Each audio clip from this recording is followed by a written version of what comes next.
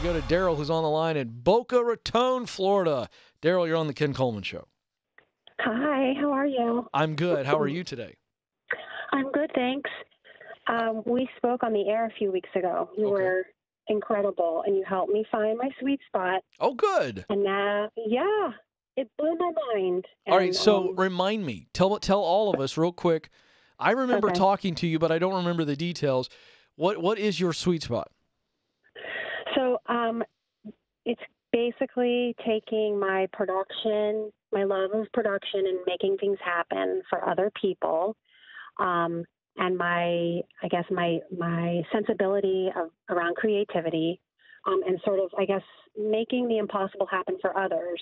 Mhm. The sort of my superpower. Okay. So, like the core, um, um, the core operations of a creative company. Gotcha. So, someone that, yeah, like a, a company that puts out creative content, a media company or something, but being at the core of their operations. Great. Okay, so what's going on? What are we talking about today? Okay, so I'm ready to like embark on a job search, and I have a resume question for you. All right, go for it. Okay, so um, right now, my I guess the last five years of experience doesn't really line up with the the job I want to have.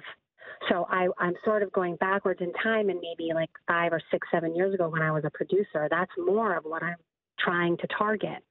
But I've got like five or six, seven years of just graphic design, you know, experience. Oh, so so here's the deal. Um, No, no, you're worried Yeah. about you're worried about um, the the order of your work, and so I wouldn't put it in there the way that you're laying it out to me. I would put in your former media production work at the top of your experience. So when you get to that what I've done section on my template, yeah.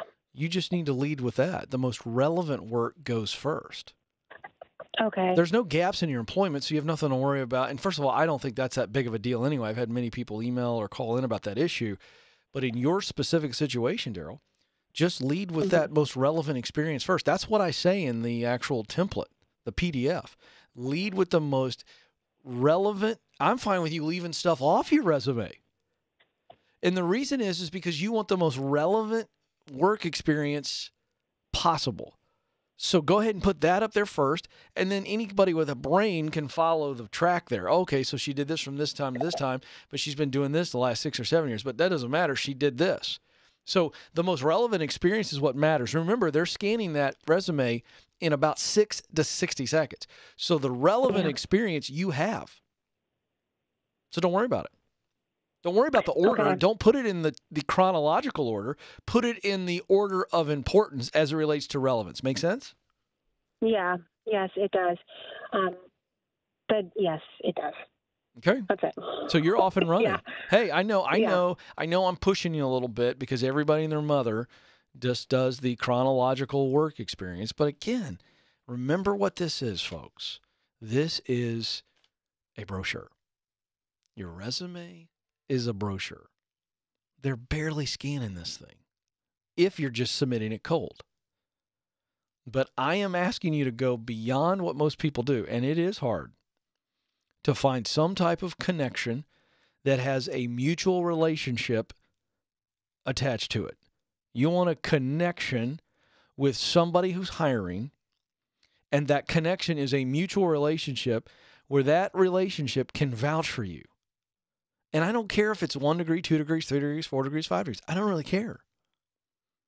But it's got to be a solid enough recommendation where they go, okay, I really do know about this person. And my dad says that Daryl is the sharpest gal he has ever met in his life. You know, whatever that is. And and that's the key. And so when that happens, your resume comes out of the pile and they're going to spend more time scanning that resume. But if you're just if you're just applying cold, then my template is designed for that.